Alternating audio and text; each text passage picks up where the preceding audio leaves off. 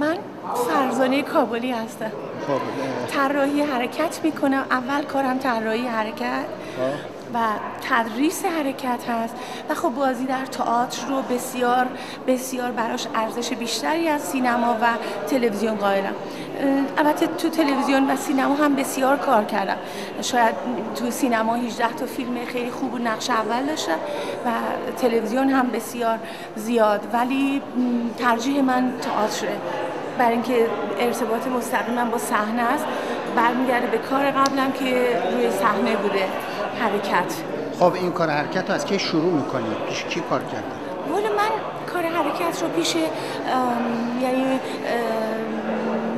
پیش آقای رابرت دووارن کار کردم ایشون فرانسوی بودن خب، و خانمشون مادام ژاکلین دووارن. و خانم آیده, آیده احمدزاده خب اینا که با کار باله می‌کنن کار باله می‌کنن ولی حرکات شما بله بله. من بله هم باله کار کردم. چون من اعتقاد دارم همین الانم که خودم تدریس می‌کنم حرکات باله هست که ریشه رقصه.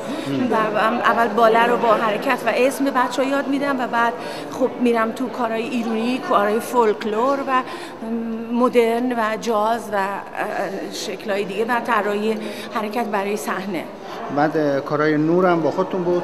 نه خیر من دیگه فقط حرکت رو انجام میدم. نور معمولا خود هادی جون آقای مرزبان چون رشتهشون نور بوده همکاری می‌کنن. یعنی میگن نظرشون رو به مسئول نور و بیشتر چون نظرشون همیشه صاحبه و درست و ایشون هر کی باشه از مسئولین نور گوش میده. یعنی توجه می‌کنه به پیشنهادهایشون من امشب یه خورده اون کار شما دیدم. یه خورده فکر می‌کردم که یک خورده ایده از کارهای امریکا گرفتین مثلا آلوی نیکولای یا افرادی که کدوم همین زنجیر زنی؟ بله، زنجیر زنی. نه خیر این زنجیر زنی و سینه زنی همین مراسم خودمونه که تو محرم خب، می‌دونم، ولی- میشه ولی, ولی به فرمی، شکل آره، یه بله، من- مدرن بود. بله یه شکل غیر معمولی دادم بهش که مردم با اون شکلی که همیشه تو خیابون می‌بینن ببینن که این این فرق می‌کنه و خب برای من خیلی جالب بود چون با هفتاد تا دختر و پسر این رو بردم رو صحنه که خب همیشه تماشاچی ها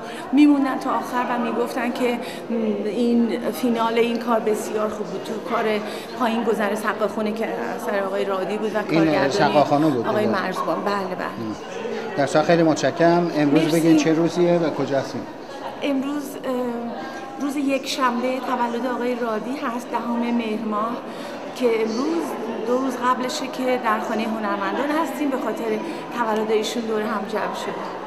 امروز هفت مهر ماه هفت مهر ماه 1340 بله. 90 بله 1390 خیلی بله. متشکرم.